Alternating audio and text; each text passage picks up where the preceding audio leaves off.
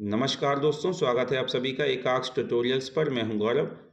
Friends UP triple S C अर्थात उत्तर प्रदेश अधीनस्थ सेवा चयन आयोग के द्वारा विज्ञापन संख्या 26 परीक्षा 2016 सम्मिलित कनिष्ठ सहायक व कनिष्ठ लिपिक सामान्य चयन प्रतियोगितात्मक परीक्षा 2016 द्वितीय के अंतर्गत चयनित अभ्यर्थियों को विभागों का आवंटन कर दिया गया है। और इस संबंध में यूपी ट्रिपल एस के द्वारा एक आवश्यक सूचना ऑफिशियल वेबसाइट पर जारी की गई है। तो चलिए हम देख लेते हैं क्या है यह आवश्यक सूचना। इससे पहले आपसे रिक्वेस्ट है कि सामान्य अध्ययन और करेंट अफेयर्स की तैयारी के लिए आप एकाक्ष ट्यूटोरियल्स को सब्सक्राइब कर सकते हैं। Okay friends? तो चलिए हम देख लेते क्या है यह आवश्यक सूचना। देखिए, यह आवश्यक सूचना जारी की गई है।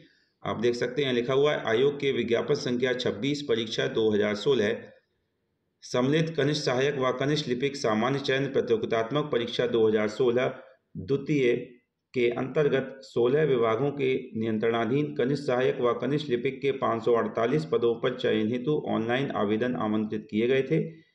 सूच्य है कि शिक्षा निदेशक माननीय शिक्षा प्रबंध अनुभाग, उत्तर प्रदेश, इलाहाबाद के कनिष्ठ सहायक गोपनीय के बारह पदों के संबंध में शुद्धि पत्र संख्या, आगे शुद्धि पत्र संख्या लिखी हुई है। दिनांक 10 फरवरी 2017 एवं राज्य विधिक सेवा प्राधिकरण उत्तर प्रदेश लखनऊ के कनिष्ठ लिपिक के एक पद के सापेक्ष अध्याचन निरस्त करने के कारण प्रश्नगत विज्ञापन के अंतर्गत चौदह विभागों के नियंत्रणाधीन कनिष्ठ सहायक व कनिष्ठ लिपिक के 535 जिसमें कि अनारक्षित श्रेणी के अंतर्गत दो सौ इक्यानवे, अनुसूचित जाति की श्रेणी के अंतर्गत 101 अनुसूचित जनजाति की श्रेणी के अंतर्गत 10 और अन्य पिछड़ा वर्ग श्रेणी के अंतर्गत 133 पदों हेतु अंतिम चयन परिणाम दिनांक 18 जून 2022 को आयोग द्वारा घोषित किया गया था। ओके फ्रेंड्स,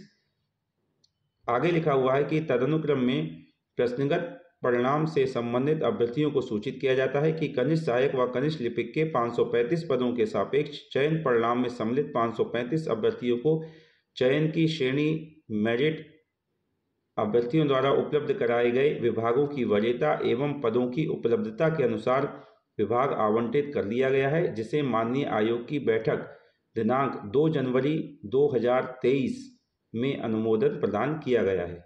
ओके फ्रेंड्स आगे लिखा हुआ है कि उक्त के क्रम में अभ्यर्थियों के विभाग आवंटन से संबंधित सूची एतर द्वारा आयोग की वेबसाइट पर यथावत अपलोड की जा रही है। ओके फ्रेंड्स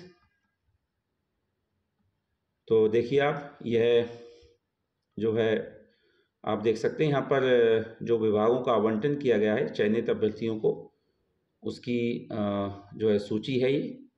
लिखा हुआ है यहाँ पर, विभागवार आवंटित अभ्यर्थियों की सूची, ओके?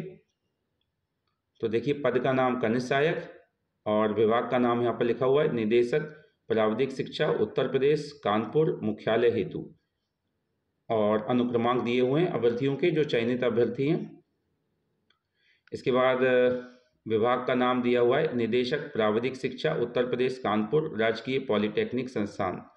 ओके फ्रेंड्स इस विभाग के अंतर्गत जो चयनित अभ्यर्थी हैं, उनके अनुक्रमांक दिए हुए हैं। इसी तरह से आप देख सकते हैं, आगे भी अन्य विभागों के नाम दिए हुए हैं और उनके अंतर्गत जो चयनित अभ्यर्थी हैं, उनके अनुक्रमांक दिए हुए हैं। ओके फ्रेंड्स तो इस तरह से यह आवश्यक सूचना यूपी ट्रिपल एस के द्वारा जारी की गई है। तो दोस्तों, यह थी महत्वपूर्ण जानकारी। एकाक्स ट्यूटोरियल्स को आप सब्सक्राइब कर सकते हैं जनरल स्टडीज़ और करेंट अफेयर्स की तैयारी के लिए। ओके दोस्तों तो मिलते हैं हम अगले वीडियो में। तब तक के लिए धन्यवाद।